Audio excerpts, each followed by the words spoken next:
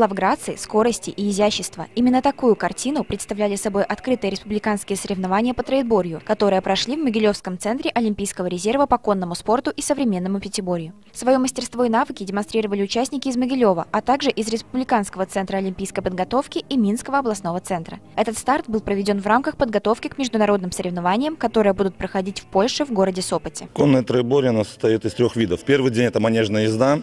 Всадники показывают свое умение управлять лошадью э, на различных аллюрах, на шагу, рыси и галопе.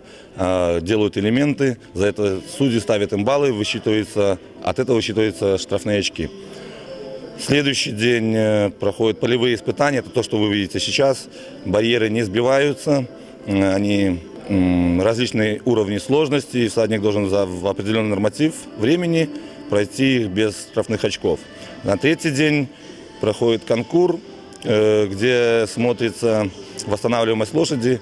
Жерди сбиваются, за них также начисляются штрафные очки в случае ошибки. Но сегодняшние соревнования проходят немножко по другой программе. И манежная езда и конкурс были вчера, а кросс оставили на последний финальный день. Этот зрелищный спорт королей привлекает немало внимания во многих странах мира. Однако в Беларуси общественности о нем пока мало известно. Приверженцы конного вида спорта рассчитывают, что к нему будет обращено больше внимания, ведь возможности для его развития в нашей стране огромные. Еще раз повторюсь, что у нас созданы большие условия. Мы, может быть, единственная страна в мире, где конный спорт он поддерживается государством, э, школы, э, любой желающий может заниматься этим бесплатно, если он попадает под э, возрастные рамки, там, с 10-12 лет набирают детей. Так в мире нет. То есть, чтобы заниматься конным спортом, ты должен купить себе лошадь, купить себе тренера, где-то ее содержать.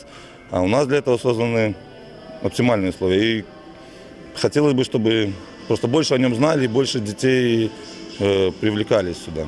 В Могилевском конном манеже рады видеть всех – и участников, и новых наездников, и зрителей. На свои мероприятия они приглашают также и людей с ограниченными возможностями, ведь давно известна большая польза ипотерапии.